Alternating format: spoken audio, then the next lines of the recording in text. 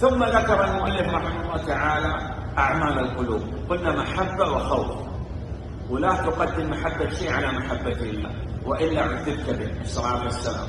ولا تقدم خوفك من غير الله على خوفك من الله سبحانه وتعالى. وإلا خوفك الله به وأنه كان رجال من الإنس يعودون برجال من الجن فزادوهم رهقا وقلنا التوكل صدق الاعتماد على الله مع الثقة به وأخذ بالاسباب المشروع ينقسم إلى ثلاثة أقسام.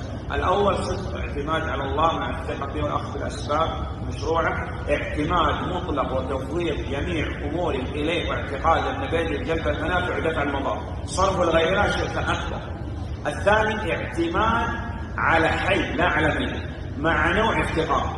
هذا شرك اصغر. مثال بعض الناس آه، تأتي مكافأة من الحكومة. طيب لو قطع عنك المكافأة قال أموت أتشرد أضيع أنا وأولادي. إذا هذا نوع اتقاء شرك لكن إذا قال يقطع النفقة وفي السماء رزقكم ما توعد. هؤلاء أسباب. يصح الثالث وكالة الثالث إيش؟ تقول وكلت فلان. يعني أنت أعلى منه درجة ولا يمكن أن تقول توكلت على فلان. ما يمكن. ولا يمكن أن تقول توكلت على الله وفلان حتى ثم فلان. ما يمكن. أبدا. عمل قلبي توكلت على الله فقط. وكلت يعني فوضت.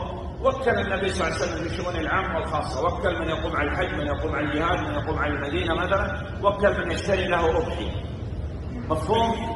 لماذا أدخلنا هنا الوكالة؟ لأنها قريبة من هذا حتى تفهم مفهوم؟ أما توكلت على الله توكلت. تمام.